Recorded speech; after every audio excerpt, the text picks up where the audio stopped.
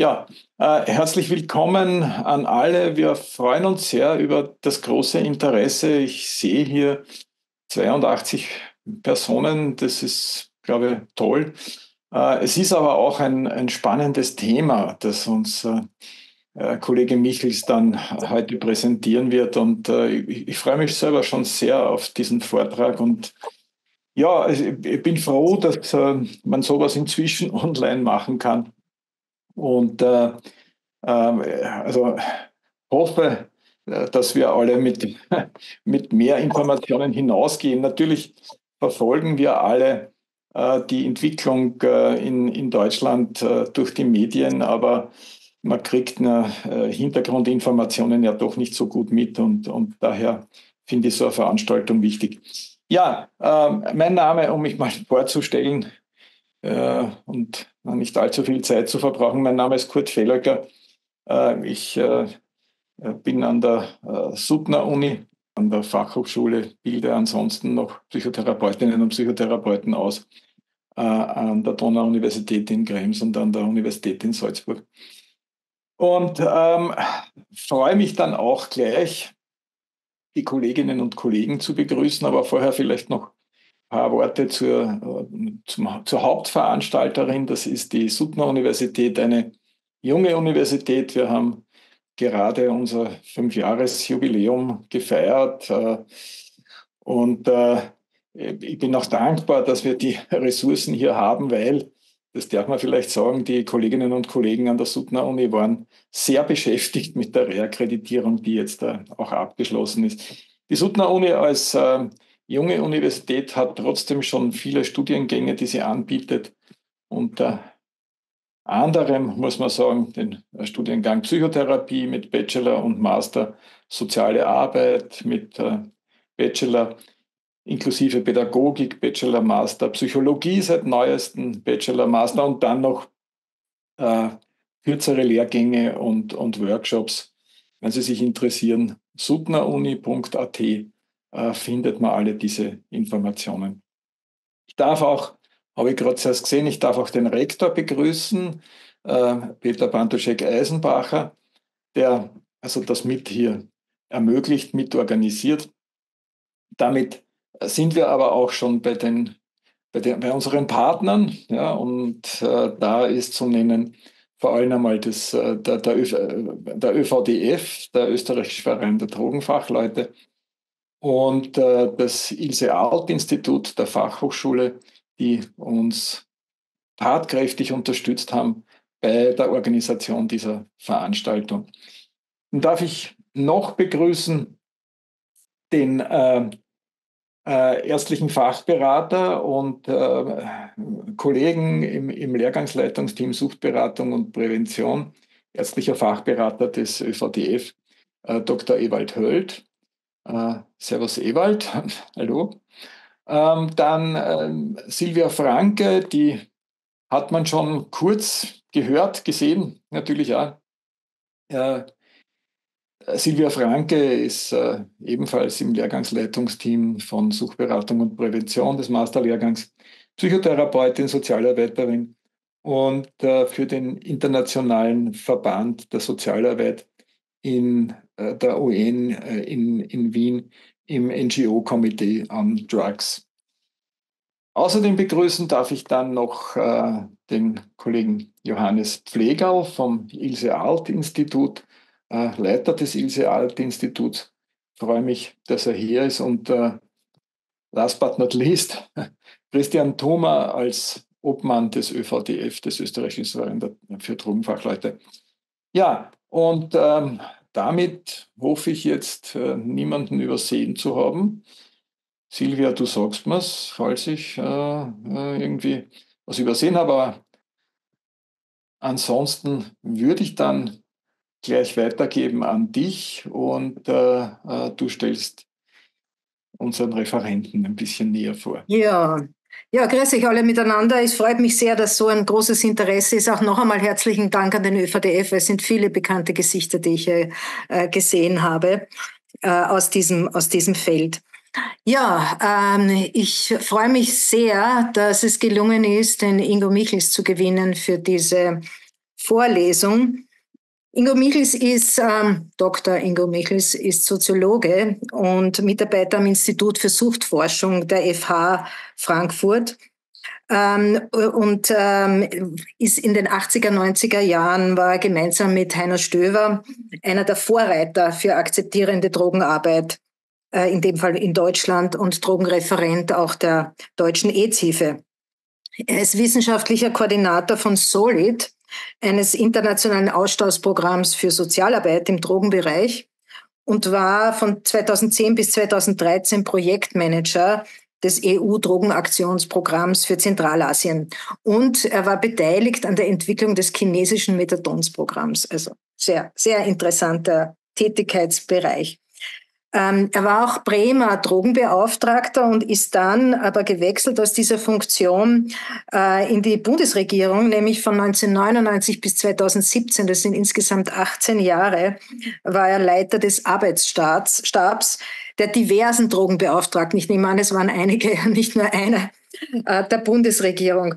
Also in dieser Zeit äh, hast du sicherlich einen ganz, äh, wie sagt man, Insight bekommen, einen, einen Überblick von der Innenseite äh, über die Entwicklung, speziell auch dieses äh, Cannabis-Regulations ähm, äh, der Gesetzgebung, worüber du uns jetzt berichten wirst. Und damit übergebe ich dir jetzt das Wort. Ja, vielen herzlichen Dank für die Einladung, die Möglichkeit, über diese äh, Entwicklung zu sprechen. Äh, ich war Bremer Drogenbeauftragter und wie man sieht, bin ich immer noch Bremen verbunden, zumindest dem Fußballclub, dem SV Werder. Äh, morgen spielen wir übrigens gegen die Sal nicht die Salzburger, aber äh, RB Leipzig, die kommen ja auch aus diesem Stall sozusagen. Gut, aber jedenfalls, äh, das Thema lasse ich heute mal beiseite und ich versuche mal jetzt den Vortrag auch hochzuladen. Ich hoffe, das funktioniert. Ah ja, jetzt müsste es funktionieren. Moment. Können Sie es jetzt sehen? Ja, danke. Ja, okay. Dann äh, will ich jetzt mal damit beginnen. Also das hat ein bisschen zu tun, die Vorgeschichte hat ja die Silvia schon kurz erwähnt. Ich bin, wie gesagt, schon sehr lange in diesem Thema unterwegs und angefangen hat das dann 1985, 86 in dem Dreh, wo ich tätig war bei der Deutschen AIDS-Hilfe, aber auch den Bundesverband für akzeptierende Drogenarbeit und normale Drogenpolitik mitgegründet habe mit Heine Stöber und anderen Aktivisten. Und schon damals haben wir uns befasst mit dem Thema. Dieses Buch Rechtsleben mit Drogen äh, war so eine echt, echt ersten Publikation zu dieser Thematik. Und zum damaligen Zeitpunkt war diese Vorstellung, man kann mit Drogenkonsum auch leben, äh, noch sehr, sehr umstritten. Also da war das Abstinenzparadigma so sehr gegenwärtig. Und es war sehr schwierig, sich vorzustellen, dass es eine andere Möglichkeit gibt, mit dem Thema umzugehen. Das linke Buch war, ist sehr interessant. Das ist damals auch herausgekommen. Äh, und die Herausgeber, der Jürgen Neumer und Gudrun Scheich-Weich, waren äh, aktive Vertreter der SPD, der Sozialdemokratischen Partei in Deutschland, und haben sich damals eben auch schon eingesetzt für die Legalisierung des Drogenkonsums und auch schon für Cannabis-Legalisierung. Sie wurden danach aber relativ schnell wieder zurückgepfiffen, ich sage es mal vorsichtig.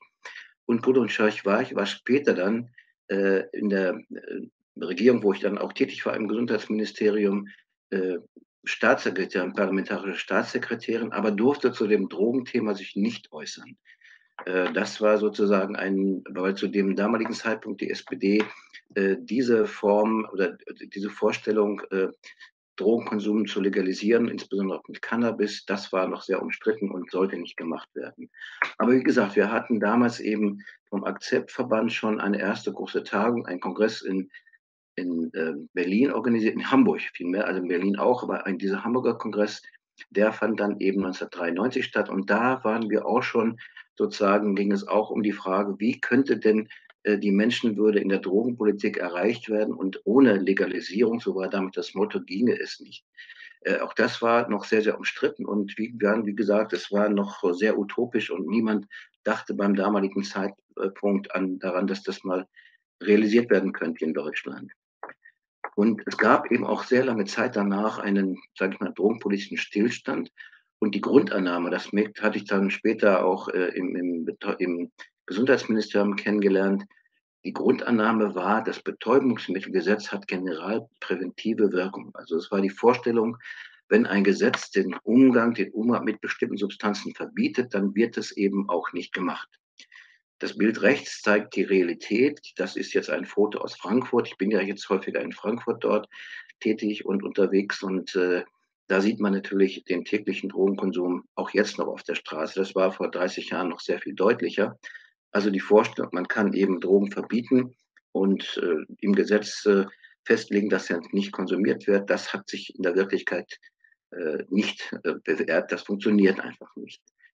Und dann gab es eben, als ich im Ministerium war, das war dann ab, äh, also interessanterweise, äh, es gab, ich habe ja angefangen bei einer grünen äh, ersten Drogenbeauftragten der Bundesregierung, dann ist das gewechselt zur Sozialdemokratie und später eben, äh, das ist ja schon erwähnt worden, ich bin dort weiter angestellt geblieben, auch bei einer äh, Drogenbeauftragten aus der CSU. Und das war hier die Marlene Mortler.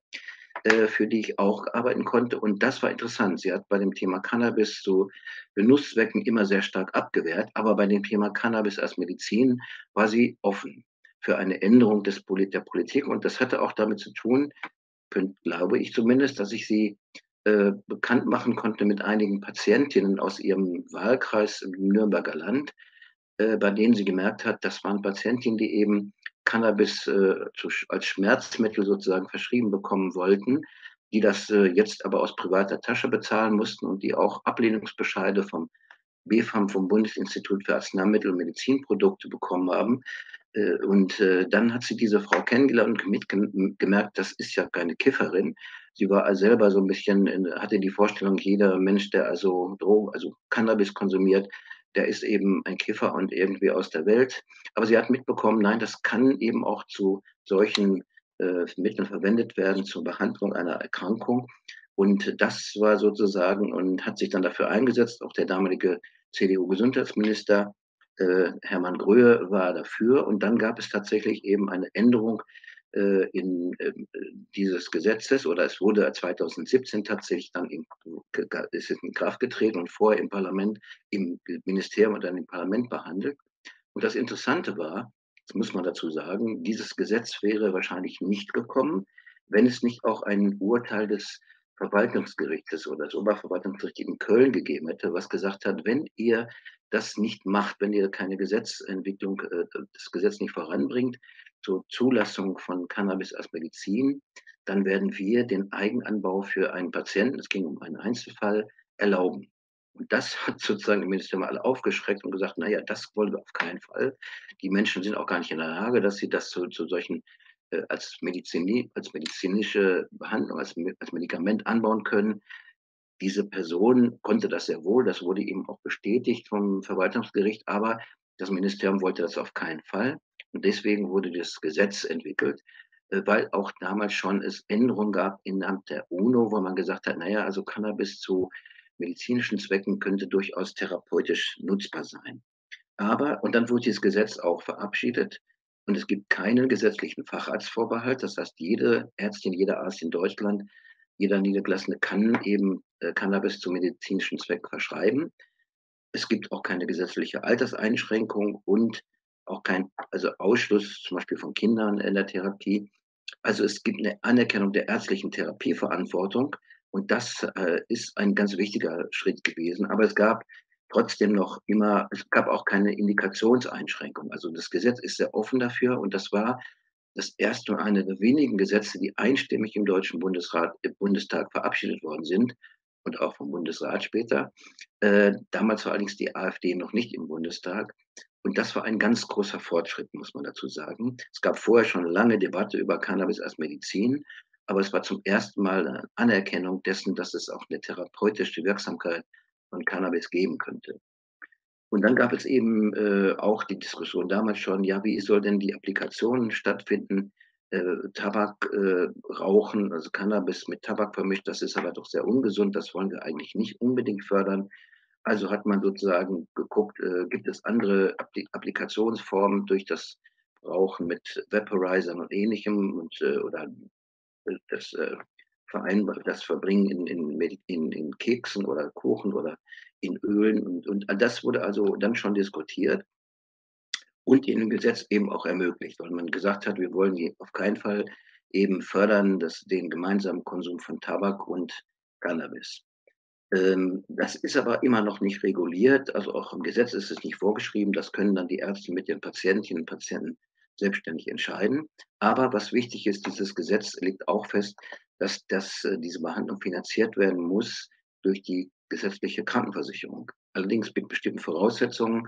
Also die Krankenkassen können zunächst mal bestimmte Dinge verlangen auch, damit sie das auch genehmigen. Aber eigentlich ist das Gesetz relativ klar und wird aber immer noch immer noch, würde ich sagen, unterlaufen, insbesondere durch die Bundesärztekammer, die sich da sehr skeptisch zeigt und sagt, naja, es gibt noch so wenig Forschung, eigentlich müsste man noch stärker forschen.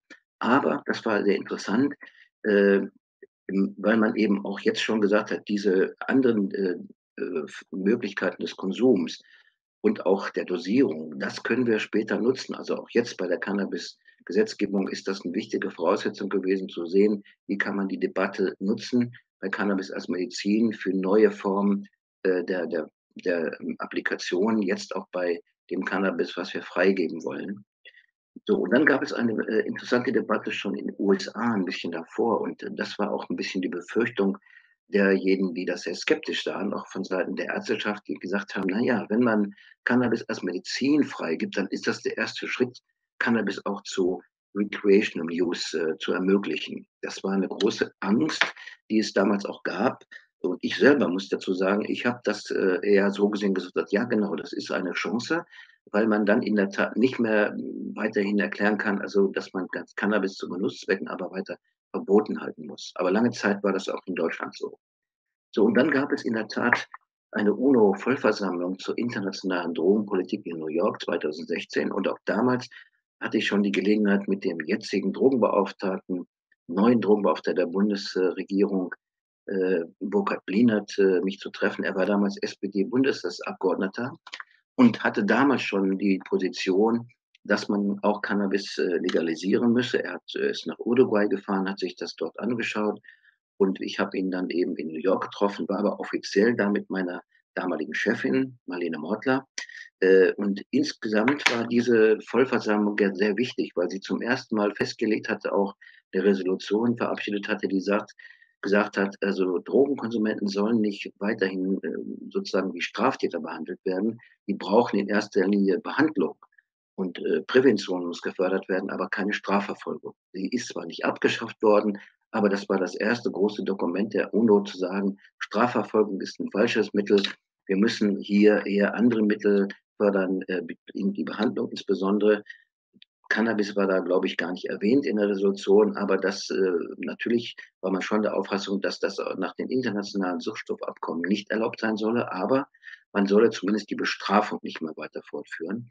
Und das, äh, das wurde auch in den sehr äh, scharf diskutiert, äh, soll man zum Beispiel Methadon oder andere Substitute zulassen, soll man das als Behandlungsform tolerieren oder sehr kritisch sehen. Es gab sehr ablehnende Haltung, damals noch von den USA interessanterweise, aber auch von Russland oder Staaten wie den Vereinigten Arabischen äh, der Union oder eben auch äh, Saudi-Arabien und auch äh, Pakistan, die waren stark dagegen und auch der Iran. Äh, deswegen steht es in der Resolution auch nicht drin, aber es ist so indirekt formuliert, dass man auch solche Möglichkeiten zulassen solle. Also das war eine ganz äh, wichtige Frage. Dann war es aber, wie gesagt, erstmal relativ lange still, aber dann gab es so ab 2015, 2016 eine ganze Reihe von, äh, von Veröffentlichungen der Fachgesellschaften, der, Suchtfachgesellschaften in Deutschland und auch der Wohlfahrtsverbände, zum Beispiel Paritätischer Wohlfahrtsverband, die Bundes-ARWO, die AWO, die Diakonie, äh, die Caritas, alle äh, und die Deutsche Gesellschaft für Suchtfragen, sozusagen als Dachverband der Suchtbehandlungseinrichtungen, die alle haben sich damals schon sehr deutlich dafür eingesetzt, dass die bisherige Politik zu Cannabis überprüft werden solle und dass man eben auch äh, die Legalisierung äh, oder zumindest die Entkriminalisierung endlich auf den Tisch legen müsse. Das war eine ganz große Übereinstimmung aller äh, Fachverbände, außer der Fachverbände der Psychiaterinnen und Psychiatern und der, der Ärzteschaft. Also die waren nach wie vor sehr skeptisch und zurückhaltend und gesagt, naja, aber die möglichen Schäden durch Cannabis äh, sind, die müssten berücksichtigt werden und deswegen waren die sehr, sehr skeptisch und zurückhaltend. Aber die Fachverbände der Behandler äh, oder der Menschen, die sozusagen mit Drogenkonsumenten äh, täglich arbeiten, äh, im niedrigschwelligen Bereich, aber auch in der Therapie, die waren der Meinung, das müsse endlich was passieren und geändert werden. Und dann gab es noch eine zweite interessante Geschichte, die Cannabis-Debatte im Wissenschaftsdiskurs.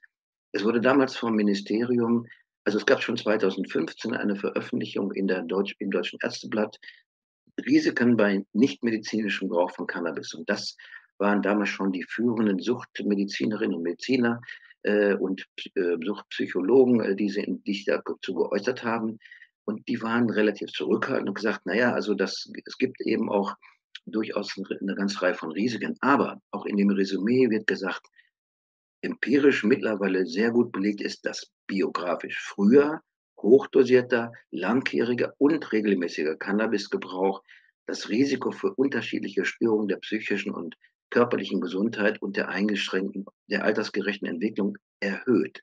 Das war die Kernaussage. Also es gibt diese Schäden, aber mit dieser Einschränkung, wenn die Menschen sehr früh damit beginnen, sehr hochdosiert, ständig, also täglich konsumieren, das war die, war damals schon auch anerkanntes äh, äh, ja, Stand der Forschung. In der Publikation, in den Medien wurde das immer anders dargestellt. Da hieß es dann zum Beispiel, Cannabis macht dumm. Also das war sozusagen sehr stark eingeschränkt. Aber diese Botschaft ist dann lange Zeit auch in der Bevölkerung äh, so weiter geblieben.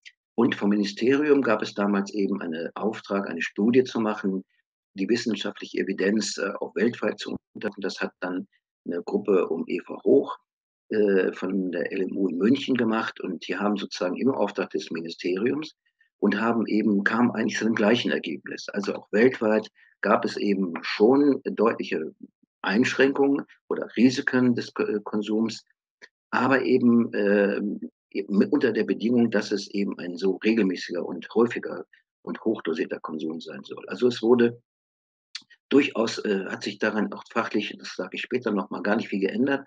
Das ist damals äh, so publiziert worden. In der Öffentlichkeit, also in den Medien wurde es eben sehr stark reduziert. Cannabis ist gefährlich, äh, insbesondere für Jugendliche und Kinder und das macht äh, dumm und äh, behindert die kognitive Entwicklung und ähnliches. Ein zweiter Teil steht eben Potenzial des Cannabis. Und das war zum ersten Mal, dass das Ministerium gesagt hat, bitte untersucht auch, gibt es Hinweise, dass es eben für therapeutische Zwecke, für die Behandlung von Schmerzen oder anderen Erkrankungen äh, durchaus wirksam ist. Und das ist in diesem Buch auch äh, untersucht worden zum ersten Mal und auch dort wurde endlich festgestellt, ja, es gibt noch zu wenig Forschung, es gibt noch wirklich noch nicht klare Indikationen, aber es gibt sehr wohl Wirksamkeitsnachweise und das war die Grundlage auch für dieses Cannabis als Medizingesetz. Interessanterweise habe ich damals auch bei der Ausschreibung gesagt, man muss eben aber auch die Funktionalität des Konsums untersuchen, also gucken, aus welchen Gründen äh, nehmen denn diese Menschen eigentlich Cannabis und was hat das zu bedeuten für sie und wieso hat das möglicherweise auch einen Gewinn? Also diese Seite äh, genauer zu gucken, was, warum konsumieren Menschen eigentlich diese Substanzen?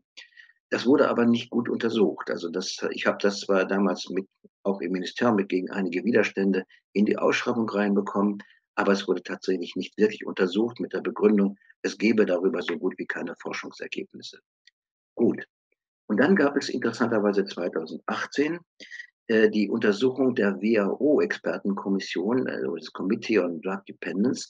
Äh, das ist so eine ständige Kommission mit unterschiedlicher, ja, unterschiedlicher Zusammensetzung, aber das sind, ich glaube, 13, 14 oder 15 Wissenschaftler, die von der WHO eben äh, benannt werden und die sich also äh, jährlich immer äh, bestimmte Substanzen anschauen, untersuchen ob die möglicherweise gesundheitliche, also psychoaktive Substanzen, ob die Gesundheitsgefahren haben und unter welchen Bedingungen diese Gefahren auftreten können und wie man sie minimieren kann. Und das Expertenkomitee hat da zum ersten Mal seit über 50 Jahren eben auch die Wirkung von Cannabis untersucht. Das war lange Zeit, wollte die WHO nicht oder die UNO, sag ich mal, insbesondere unter dem Druck der Vereinigten Staaten, wollten darüber gar nicht forschen und das nicht wissen. Aber diesmal gab es eben äh, diesen Auftrag an die WHO-Expertenkommission und es gab eben auch einen, wie man sieht, hat diese Kommission auch äh, sich weltweit ähnlich wie bei dem deutschen äh, Capris-Buch angeschaut, wie ist der Stand der Forschung. Und die sagen, ja, also es gibt noch keine Hinweise, dass Cannabis Schizophrenie auslösen kann. Es gibt jedenfalls, ist das nicht bisher noch nicht wirklich nachweisbar. äh, auch wenn es Hinweise dazu gibt, aber das ist äh, nicht so. Das ist wichtig. The vast majority of people who use cannabis will never develop a, psycho a psychotic disorder. Also keine, niemand, also nur eine kleine, die, größte, große Mehrheit der Menschen wird eben keine psychotischen äh, Erkrankungen entwickeln. Äh, und auch äh, kognitive Funktionsstörungen können bei sehr häufigen und ähm, also heftigen, häufigen und, und, und starken Cannabiskonsum auftreten, aber sind wieder reversibel. Also auch das ist eine Feststellung der, der WHO. Und dann wird auch die Frage untersucht, äh, wie ist denn das Thema Abhängigkeit? Weil man immer so gesagt hat, ja, so jeder Zehnte, der Cannabis konsumiert regelmäßig, wird auch abhängig davon. Und da sagen die Forscher, ja, das ist jetzt so der Stand der Forschung. Das sagen auch die US-Forscher insbesondere. Aber wir können das noch nicht mit Gewissheit sagen, weil die Daten, die vorliegen, einfach noch viel zu gering sind, also weltweit, um so eine Aussage zu treffen. Also das ist die, das können Sie gerne nachlesen nochmal, wenn, wenn das interessiert. Das war die Auffassung der Expertenkommission. Man hätte jetzt eigentlich erwarten müssen, dann kann aber Cannabis äh, eigentlich nicht weiter sozusagen in dem internationalen Suchtstoffabkommen äh, als die gefährlichste Droge gemeinsam mit Heroin oder anderen Kokain aufgeführt werden. Und alle hatten schon die Hoffnung, dass es ein, zu einer Änderung komme, äh, weil die WHO dann eben eine Recommendation an die UNO-Versammlung äh, ausspricht. Also das ist nur eine Empfehlung, die muss nicht äh, beachtet werden, aber man hat gesagt, gut, es solle zumindest Cannabis von dem Schedule 1, äh, von dem Schedule 4 rausgenommen werden. Das soll rausgenommen werden, aber beim Schedule 1 bleiben. Und wenn man diese äh, Schedules sich anschaut, dann ist die Number One ist immer sozusagen noch eine Verbotsklausel. Das heißt, äh, damit wird zumindest gesagt, das muss äh, staatlich kontrolliert werden. Das darf man nicht einfach so freigeben. Das ist äh, gefährlich und hat eben auch Gesundheitsrisiken sehr große. Aber die Schedule 4, die ist noch schärfer formuliert und da ist es zumindest eine kleine Aufweichung. dieser Beschluss wurde damals schon von einigen gefeiert als ersten Schritt zur Cannabis-Legalisierung.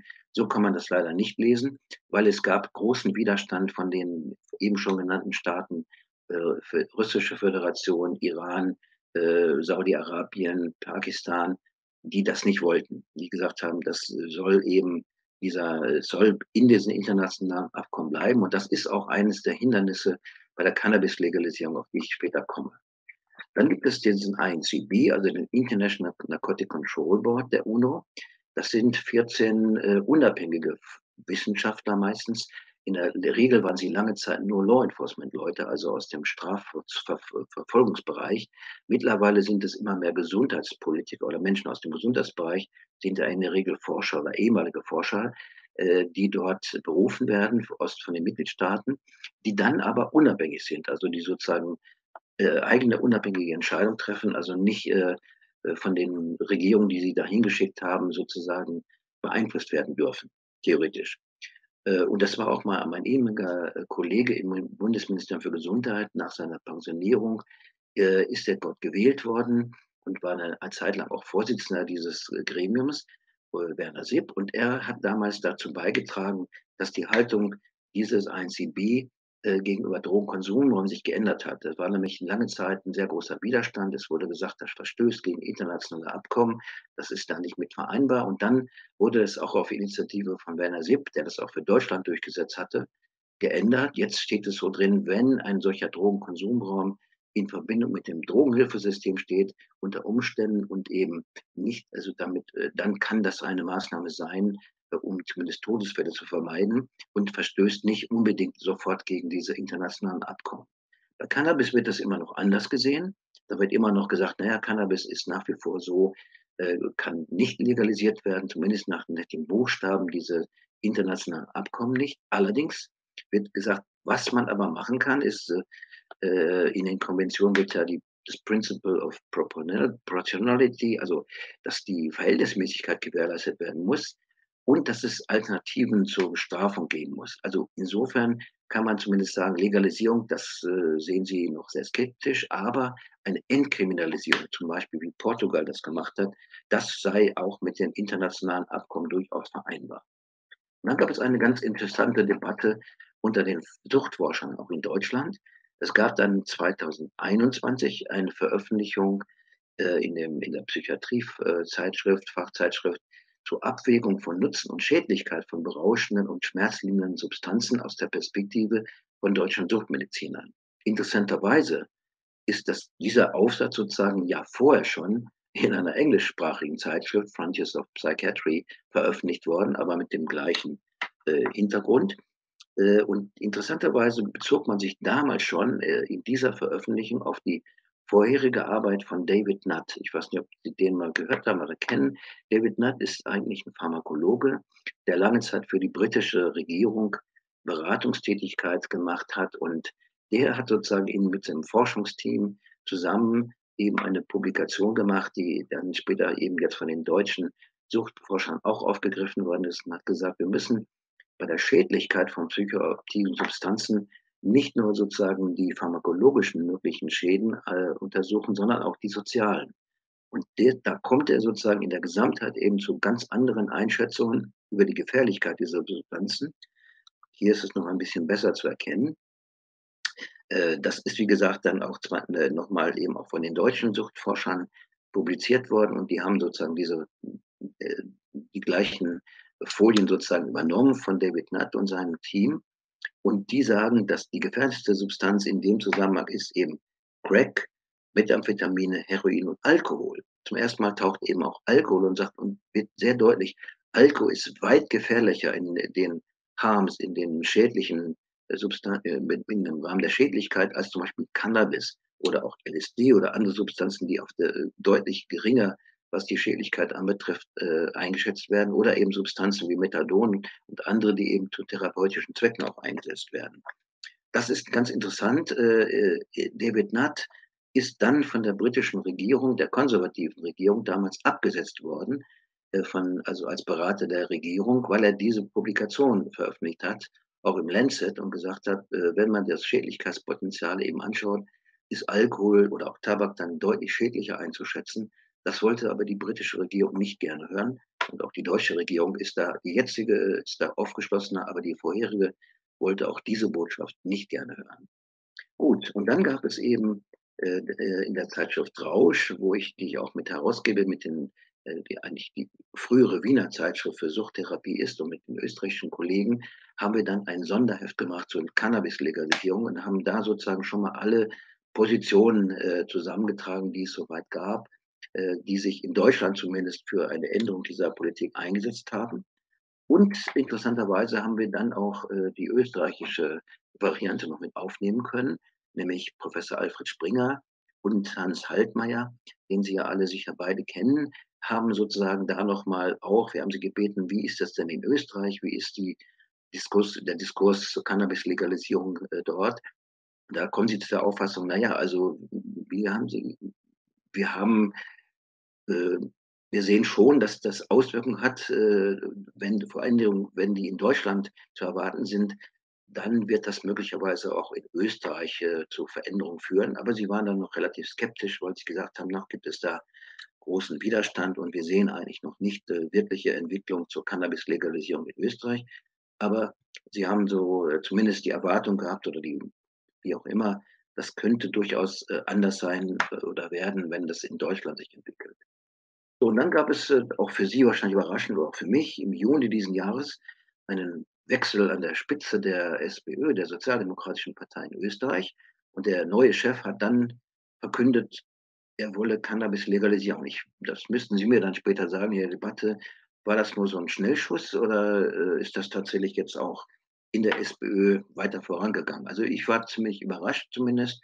Äh, und dann gab es auch eine Umfrage äh, in dem Standard zu dieser Frage. Und da sieht man, ja, ja, das ist nicht ganz, also ist, ist ungefähr halb, halb.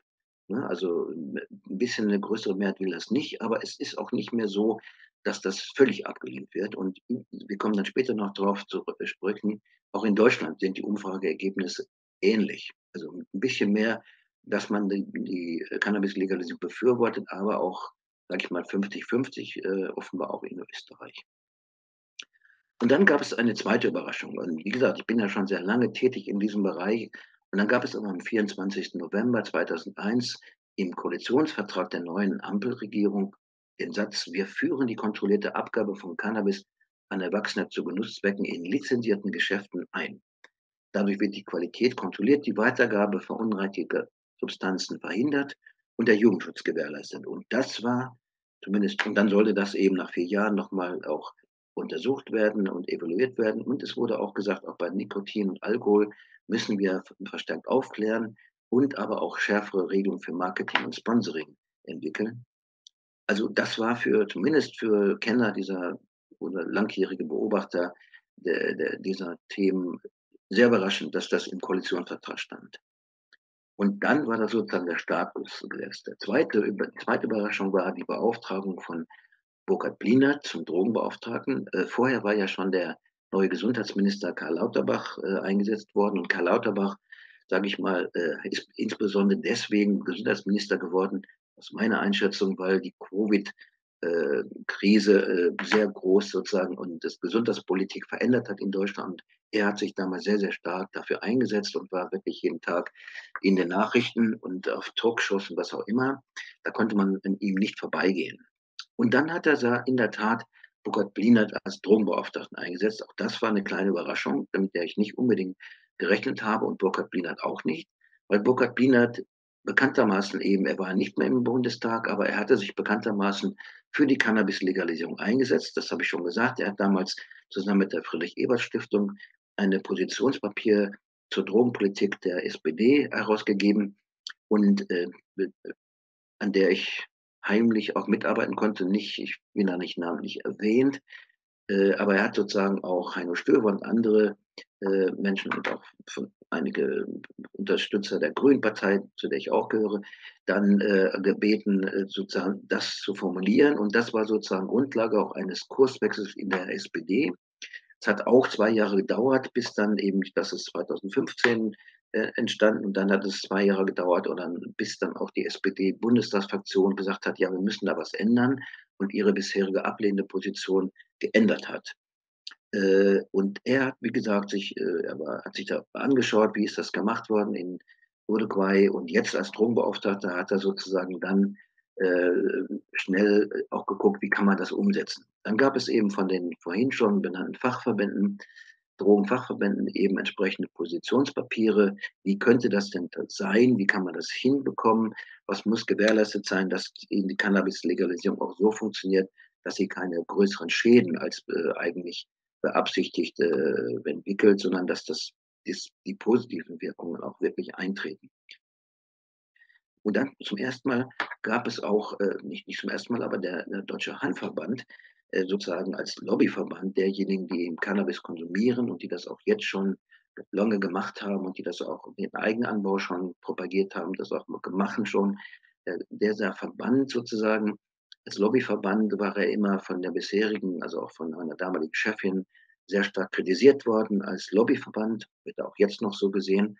Aber äh, der, die neue Bundesregierung hat gesagt, wir wollen also auch diese Informationen bekommen und auch deren Position tatsächlich äh, anhören und berücksichtigen.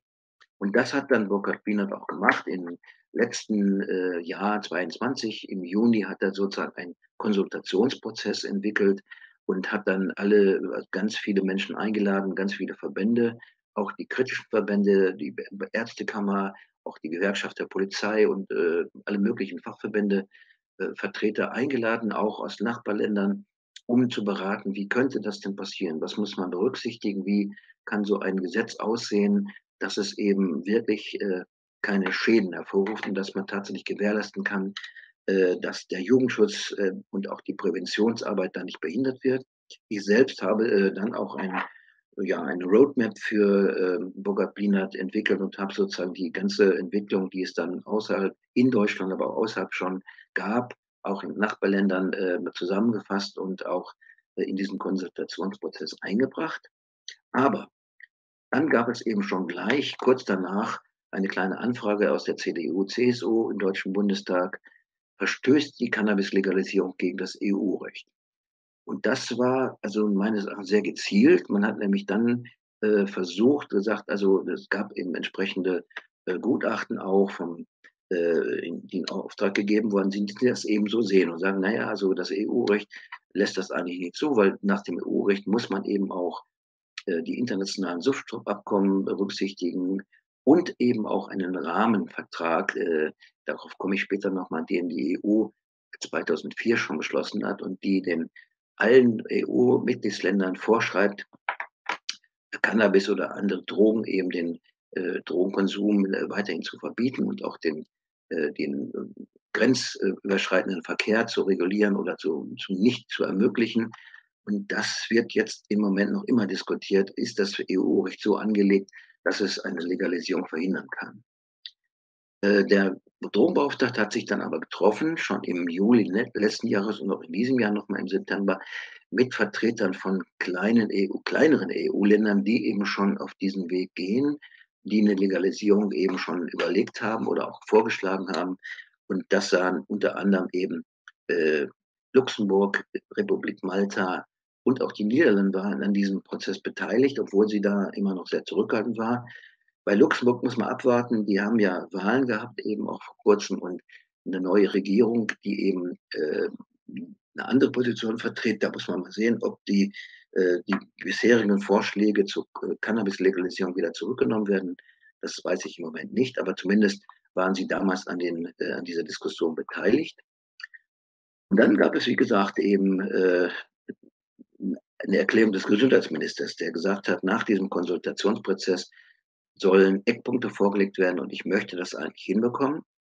Und es gab auch noch mal eine Diskussion äh, von niederländischen Strafrechtlern, die gesagt haben, oder ja, internationalen Strafrechtlern, die gesagt haben, ja, unter bestimmten Bedingungen sehen wir das nicht, dass das EU-Recht eben äh, das verunmöglicht, wenn es eben um äh, die Menschenrechte geht. Und die sind nämlich bislang bisher eben gar nicht berücksichtigt worden. Und, und wenn man diesen Bereich mit einbezieht, dann muss man eben auch die Frage der Legalisierung anders sehen.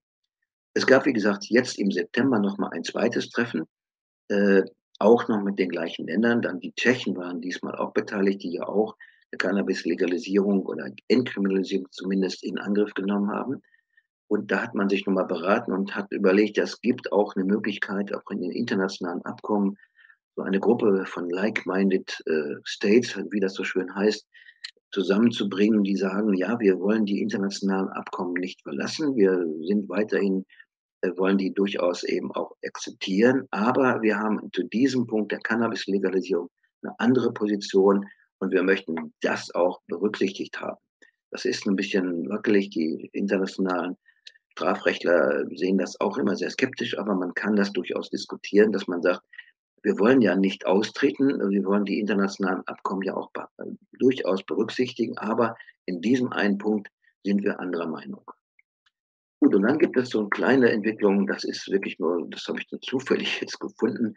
Es gab einen äh, Niedersachsen-Tag der Jungen Union, also der Jugendorganisation der CDU äh, in Deutschland dazu, äh, und die haben sich dafür ausgesprochen, die ideologiebetriebenen und von einem Grundsatz ausgehenden Themen anders zu diskutieren, auch bei der Frage der Cannabis-Legalisierung, durchaus das mal zu überlegen.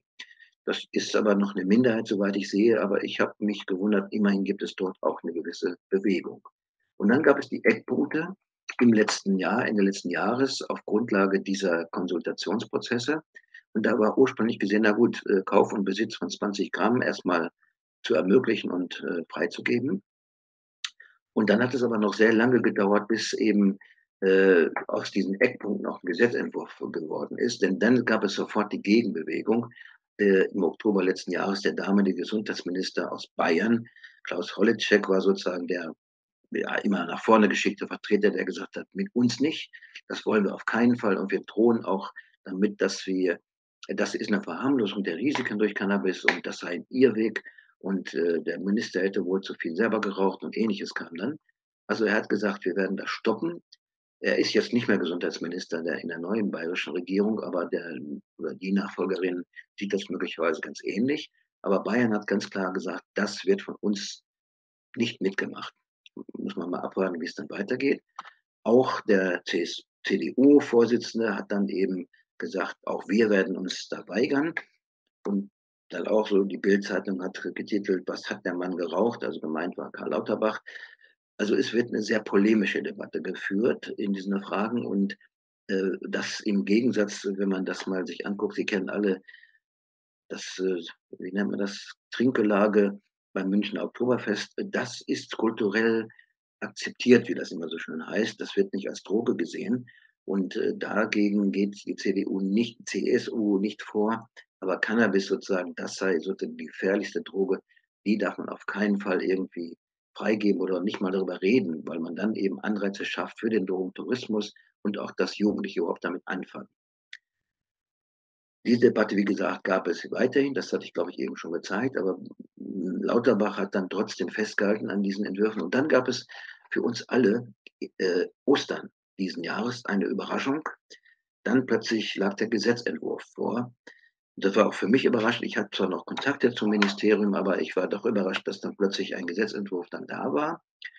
Und der wurde dann auch vorgestellt äh, zu Ostern, gemeinsam äh, mit dem Bundeswirtschafts-, Bundeslandwirtschaftsminister von den Grünen und dem Bundesjustizminister von der FDP. Alle drei haben gesagt, wir wollen das, aber wir schlagen ein sogenanntes Zwei-Säulen-Modell vor.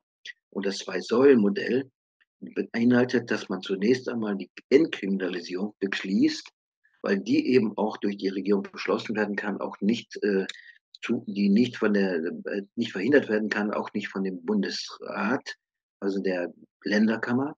Deswegen wollen wir damit anfangen und im nächsten Schritt, also auch im nächsten Jahr, dann eben äh, die, Lizen die Überlegung, lizenzierte Geschäfte einzuführen, fördern allerdings im Rahmen von Modellen, die zunächst mal ausprobiert werden sollen und wo Bayern schon gesagt hat, die werden sich da nicht beteiligen.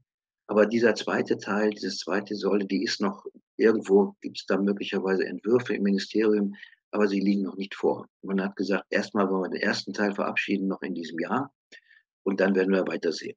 Wenn hier so viel Text ist, Sie können ja die äh, Präsentation alle bekommen, dann können Sie alles nochmal nachlesen. Das ist jetzt nicht so schnell alles zu verstehen, vielleicht so schnell. Aber das war zumindest die Kernaussage Zwei-Säulen-Modell.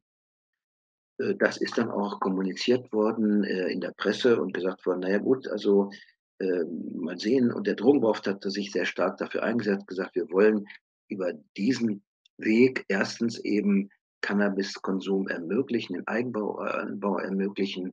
Wir wollen eben die Kriminalisierung beenden und den Schwarzmarkt dadurch zurückbringen.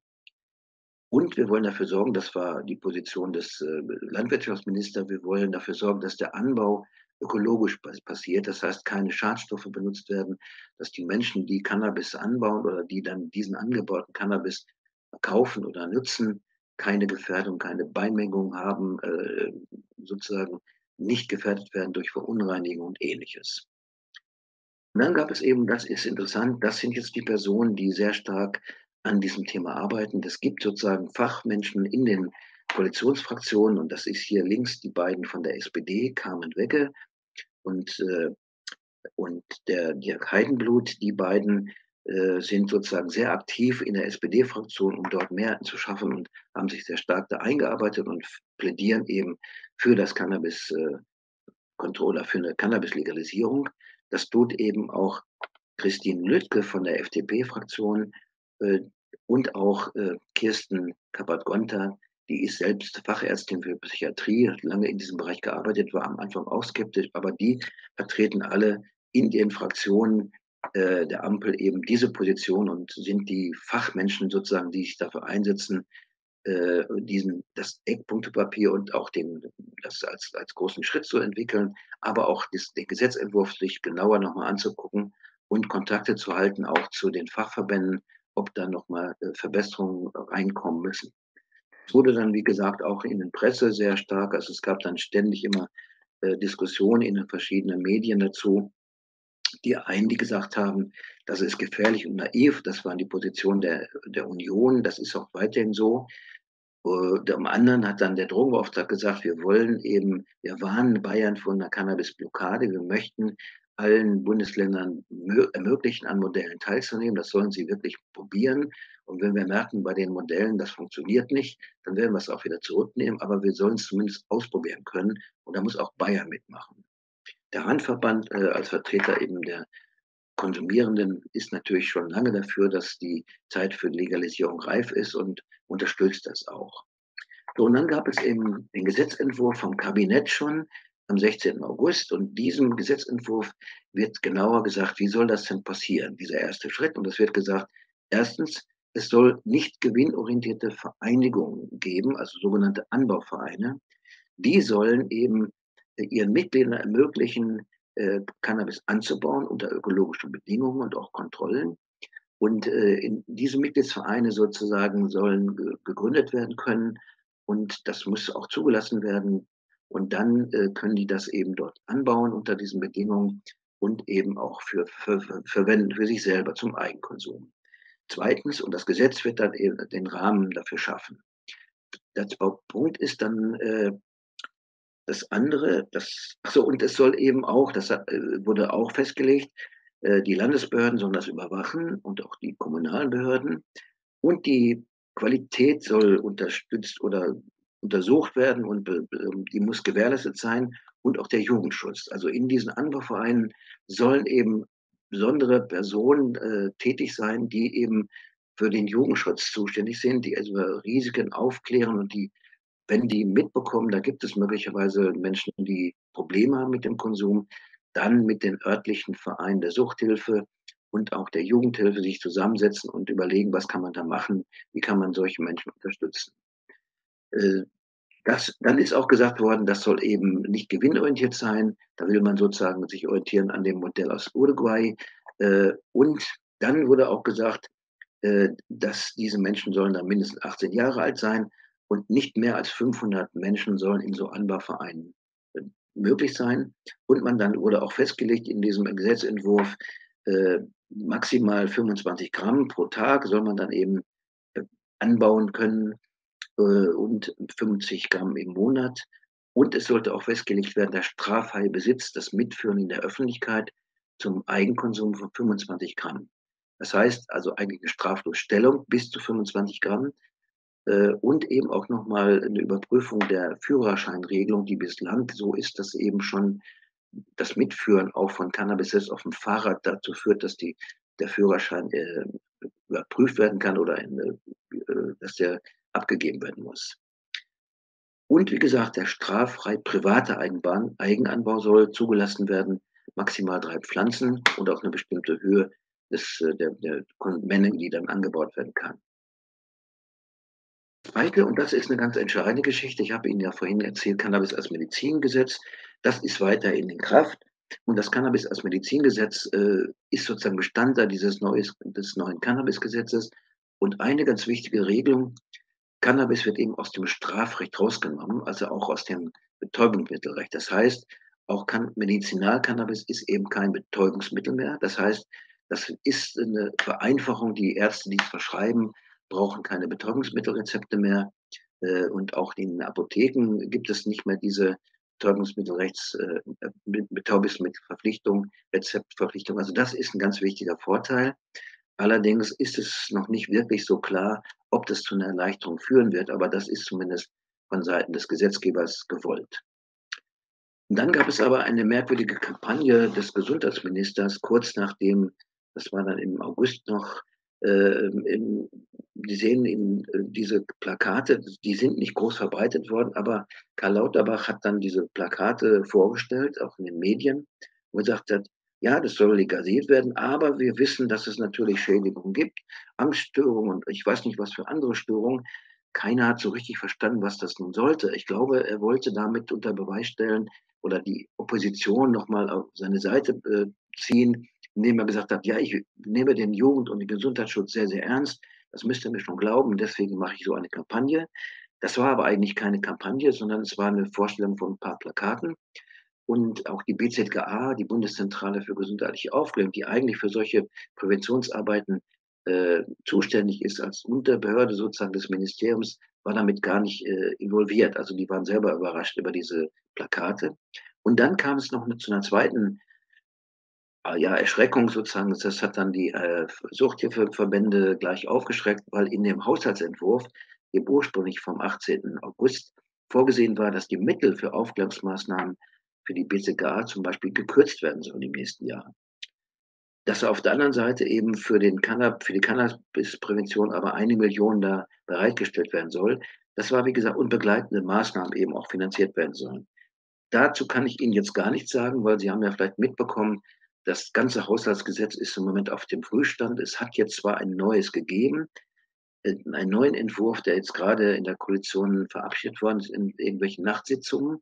Der liegt mir aber noch nicht vor. Also ich weiß nicht, ob diese Kürzungen da weiter vorgesehen sind. Es wird zu Kürzungen kommen müssen, aber in, welcher, in welchem Umfang, in welchem Bereich, kann ich Ihnen leider noch nicht sagen. Das ist sozusagen noch nicht öffentlich. Da muss man mal abwarten. Aber die Überlegung, überhaupt da in dem Bereich zu kürzen, hat zu scharfen Protesten auch bei den Suchthilfeverbänden geführt. Ja, dann gab es noch mal eine Debatte um die Frage, ist das, dieser Gesetzentwurf nicht sowieso viel zu bürokratisch?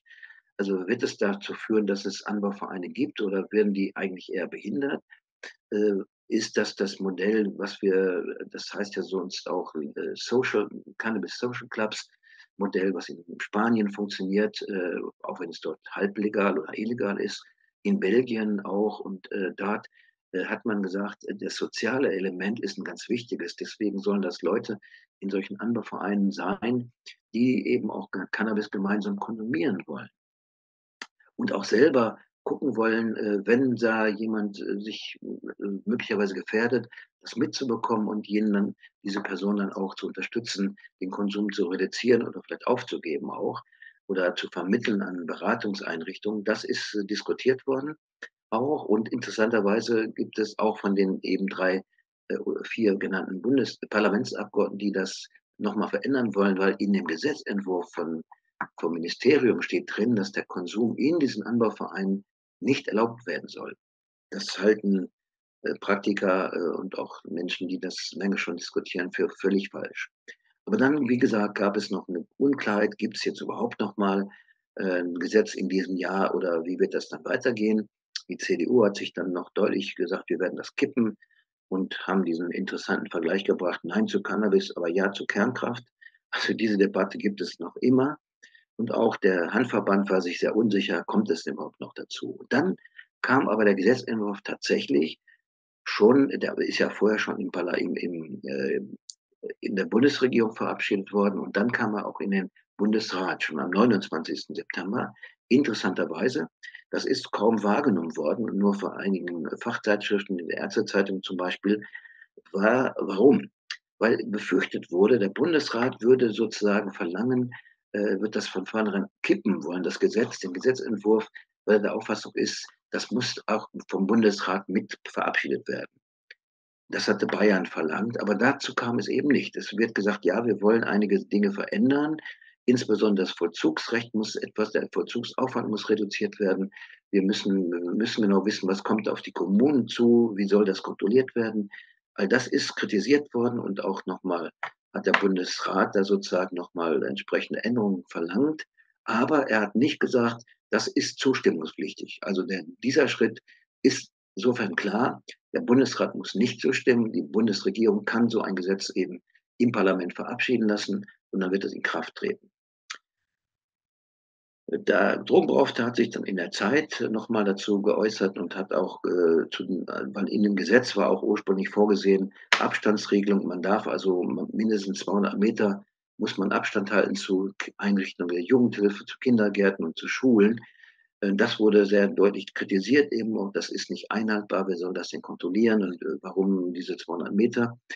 Und, oder auch der, das, Konsum, der, das Konsumverbot in, den, in diesen Konsum, in den Anbauvereinen, auch das hat, wurde kritisch gesehen und das sieht auch der, der Bundesdrombeauftragte kritisch und auch was die Obergrenzen betrifft. Und dann gab es in der Tat nochmal eine Diskussion, zumindest ist der Gesetzentwurf zumindest in erster Linie, in erster Lesung schon in den Bundestag gekommen, mit Verzögerung, es gab einige Verzögerungen auch aufgrund äh, der Situation, der Kriegssituation in Israel und des Überfalls der Hamas. Da hat man das, äh, die Parlamentsdebatte doch verschoben und gesagt hat, das ist äh, so wichtig nun auch nicht, dass die anderen wichtigen Themen dann irgendwie in den Hintergrund geraten. Das wollen wir nicht. Aber er ist dann in erster Linie eingebracht worden. Die erste Lesung hat stattgefunden im äh, Mitte Oktober, Ende Oktober.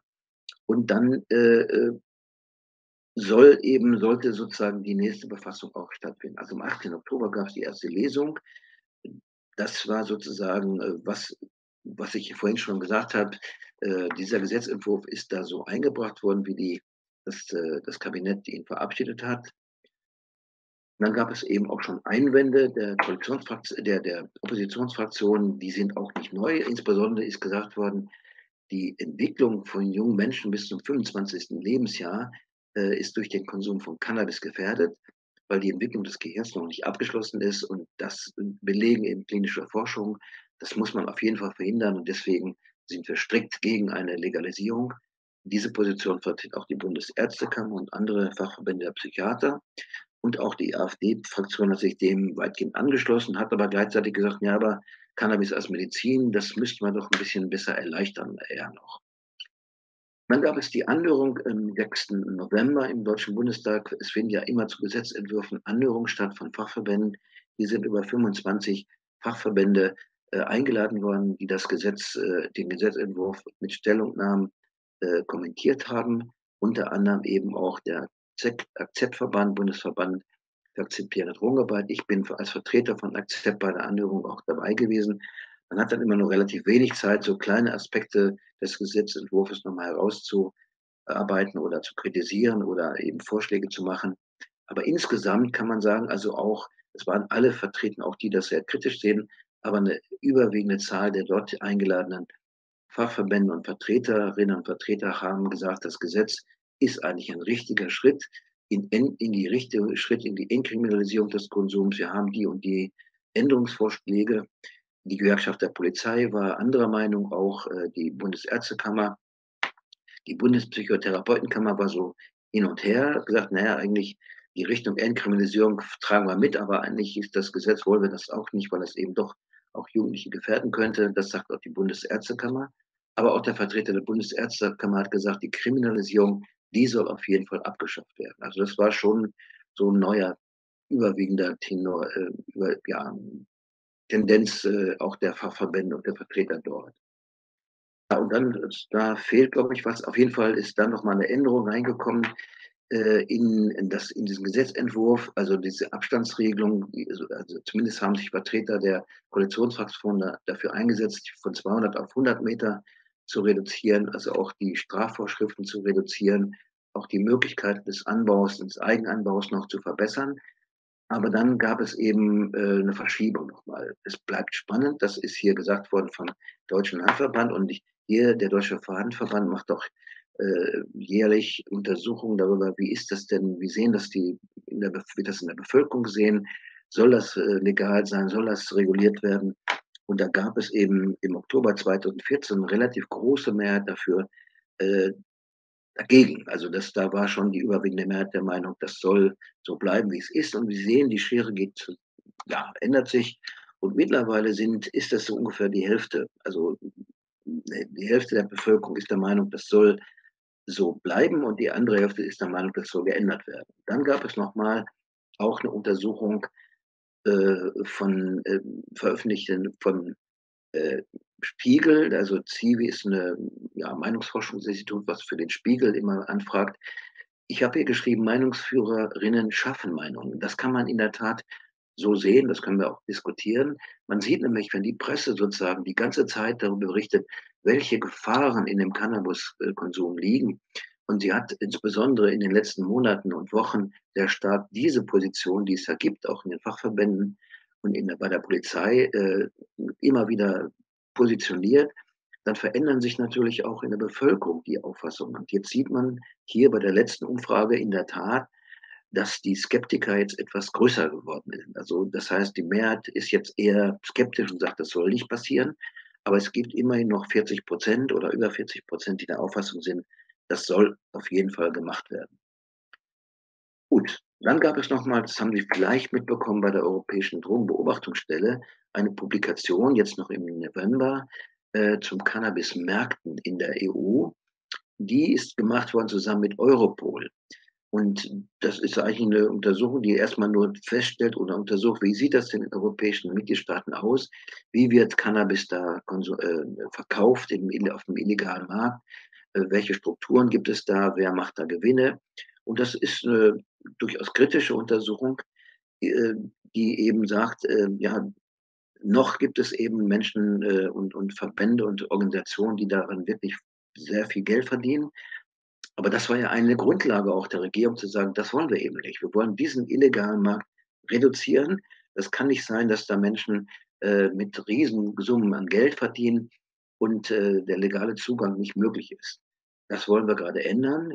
In Kanada hat man das auch gemacht. In Kanada hat man auch gesehen, dass das funktioniert.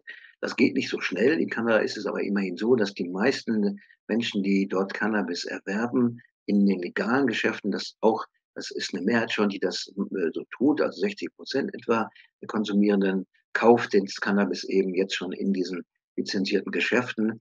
Die Zahl derer, die das im illegalen Markt noch sich besorgen, ist reduziert worden. Das Gleiche ist richtig bei für Uruguay. In den USA ist es immer sehr unterschiedlich in einzelnen Staaten. Aber es gibt diese Bewegung, auch wenn die natürlich nicht sofort passiert. Und warum jetzt aber ausgerechnet jetzt diese Publikation auf den Markt kam, das kann man auch noch rätseln, aber es äh, wird sicherlich äh, von denjenigen, die da sehr skeptisch sind, eher benutzt zu sagen, seht ihr, der, der schwarze Markt wird weiterlaufen und die werden doch nicht äh, so dumm sein, sozusagen sich diese Einnahmequelle entgehen zu lassen. Das muss man durchaus sehen. Aber dann gab es eben doch noch eine Überraschung von Weihnachten. Ich wollte Ihnen eigentlich schon die frohe Botschaft äh, mitteilen, weil eigentlich war vorgesehen, in der letzten Woche, die letzte Woche des Bundestages, da sollte das Gesetz verabschiedet werden in zweiter Lesung, zunächst mal im, am Montag, am Dienstag im Gesundheitsausschuss und dann am Freitag, am letzten Freitag, ursprünglich im Bundestag. Aber es ist abgesetzt worden. Es gibt nochmal Verhandlungen. Und äh, das hatte damit zu tun, dass es innerhalb der SPD-Fraktion jetzt plötzlich Widerstand gab und insbesondere von den dortigen Innenpolitikern und Vertretern der Polizeigewerkschaften. Äh, das ist nicht ganz neu, das machen sie, also diese Positionen oder die kritischen Positionen gibt es schon längere Zeit. Aber ich war dann doch überrascht und auch der Dirk Heidenblut, der sozusagen der SPD-politische Sprecher ist, hat gesagt, nein, das ist eigentlich schon abgeschlossen, die Verhandlungen. Äh, und wir, wir gibt eine Einigung auf der Fachebene und auch mit dem Minister. Das soll jetzt auch gemacht werden. Allerdings hat er dann auch eingesehen, so einfach ist es nicht.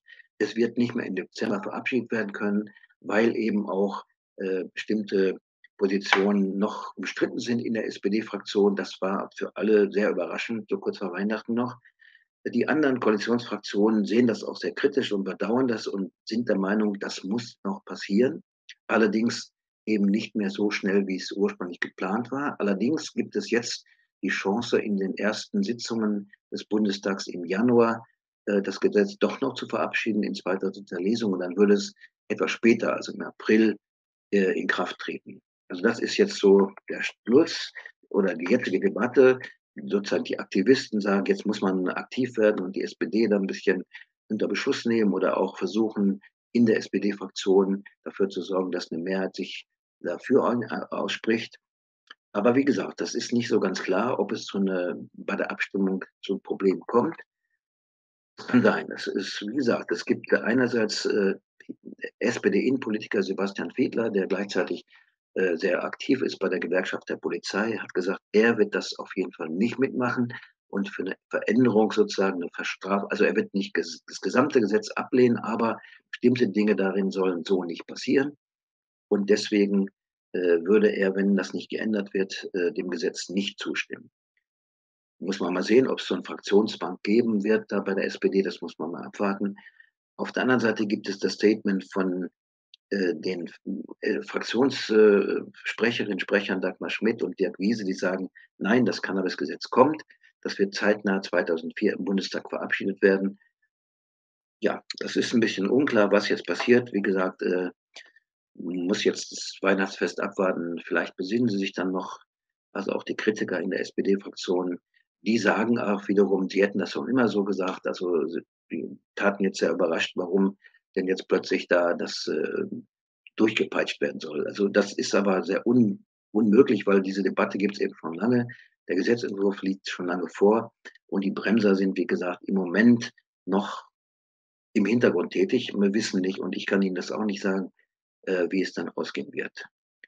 Ja, so das ist jetzt äh, der kurze und ich weiß nicht, um ganz umfassende äh, über die Übersicht über die Cannabis-Gesetzgebung in Deutschland. Ich bin nach wie vor relativ optimistisch, dass es zu einer, zum Gesetz äh, kommen wird, dass er im Januar auch verabschiedet wird. Aber da muss man ein bisschen in der Glaskugel lesen. Das kann noch alles Mögliche passieren.